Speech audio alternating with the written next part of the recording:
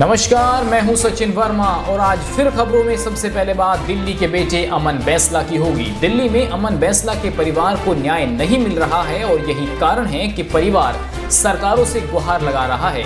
अमन बैसला ने जिन लोगों के कारण आत्महत्या की, उन पर तो कोई एक्शन होता हुआ दिख नहीं रहा है। हैरानी की बात तो यह है कि तमाम सबूत अमन बैसला खुद वीडियो के माध्यम से जारी कर चुका था, लेकिन बावजूद इसके पुलिस प्रशासन इस केस को गंभीरता से नहीं ले रहा है।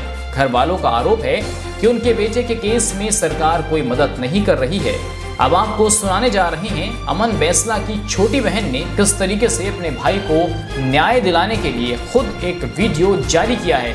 क्या कहा है अमन बैसला की छोटी बहन ने? खुद सुनिए इस वीडियो में। रोम रोम जी, मैं अमन बैसला की बहन चीना हूँ। आप लोगों ने उसकी वीडियो में सुन ही लिया होगा। तो भाई, ये दिल्ली पुलिस हमसे क्या चाह रही है? बस इतना बता दो। पहले तो तुम लोग उन्हें गिरफ़्तार कर रहे हो उन्हें दिखाने के लिए और फिर उसी रात को तुम लोगों ने उन्हें छोड़ दिया और हमें आके कह रहे हो कि भैया, पहले सबूत लेंगे, ढूंढेंगे, उन्हें, उनसे रोज़ हम पूछताछ करेंगे, उसके बाद कुछ करेंगे। वो लड़का अपने फ़ोन में सारे सबूत छोड़ के गया है, तब भी तुम लोगों के मन में कोई बुद्धि ना चल रही तुम्हारी कोई भी? या इतना मोटा पैसा खा लिया कि तुम लोग कुछ करने को राज़ी ना हो रहे, वहाँ बैठ के पुलिस स्टेशन में उस मुजरिम के साथ तुम चाय पी रहे हो, फ़ोटो खिंचवा रहे हो? ये क्या मतलब है तुम्हारा?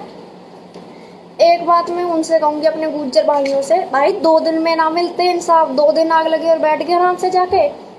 ऐसा तो नहीं होता है, जितने भी लोग मेरी स्टोरीज देख रहे हैं, मैं उन लोगों की भी ना सारी स्टोरीज देख रही हूँ, सब अपनी फ़ोटो डाल रहे कोई हैप्पी बर्थडे बना रहा है, कोई कुछ कर रहा है। ठीक है भैया, बहुत बढ़िया, तुम बनाओ लेकिन कम से कम एक आधी स्टोरी तो डाल लो। तुम्हारी एक स्टोरी से ना बहुतों के ना कान खुल सकते हैं, उन्हें दिखाई देने लग सकता है।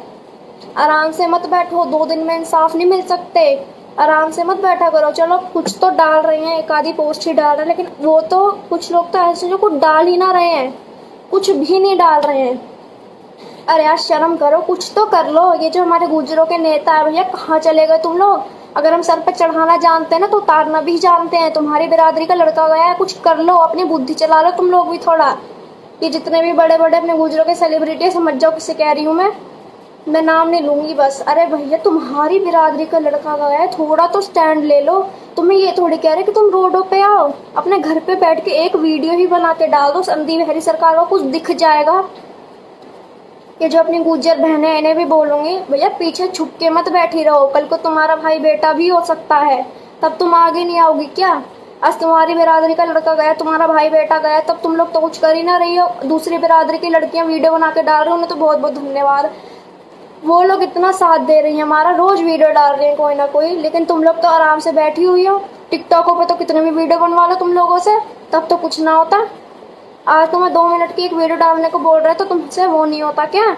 इतना बता दो बस। कल को तुम्हारा भाई बेटा भी हो सकता है।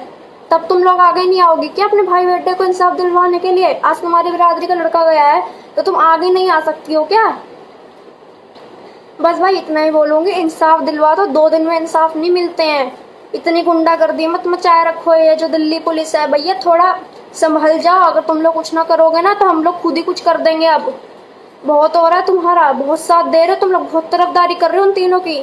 सुमित गोस्वामी, नेहा जिंदल, और वो जो खत्री है, ये तीनों के बहुत साथ दे रहे हो, हम कुछ कर देंगे, हम इनका अगर तुम लोग कुछ ना कर सकते तो बता दो एक बार में। इतनी तरफदारी करने की कोई ज़रूरत ना है तुम्हें? बस भाई, इतना बोलूँगी। कि ये जो सारे नेता हैं, ये सेलिब्रिटीज हैं, जितने भी बड़े बड़े भैया सर पे चढ़ाना जानते हैं ना तो उतारना भी जानते हैं। ये समझ जाओ तुम। और अभी बहुत वक्त है, एक वीडियो भी ना बहुत कुछ कर सकती है, उसी से एक हंगामा हो सकता है। तुम्हें ये नहीं कह रहे, तुम लोग रोडों पे आ जाओ, बस इतना कह रहे एक वीडियो बना के डाल दो। उस पुलिस को कुछ सुनाई दे जाएगा। और पता किसी टाइम में ना मेरा भी सपना था कि मैं दिल्ली पुलिस में भर्ती होंगी।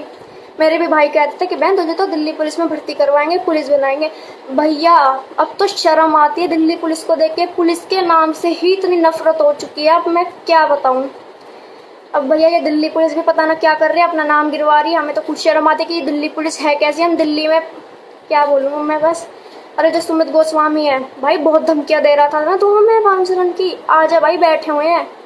यूँ ना है कि आराम से बाउंसर लेके आऊँगा, इनका काम कर दूँगा, ऐसा कुछ ना भाई, तू लेके आ बाउंसर हम बैठे हुए हैं। मेरे सामने आ जा मेरी माँ के सामने आ जा बैठे हुए हैं बिल्कुल। शक्ल भी ढंग से देख ले।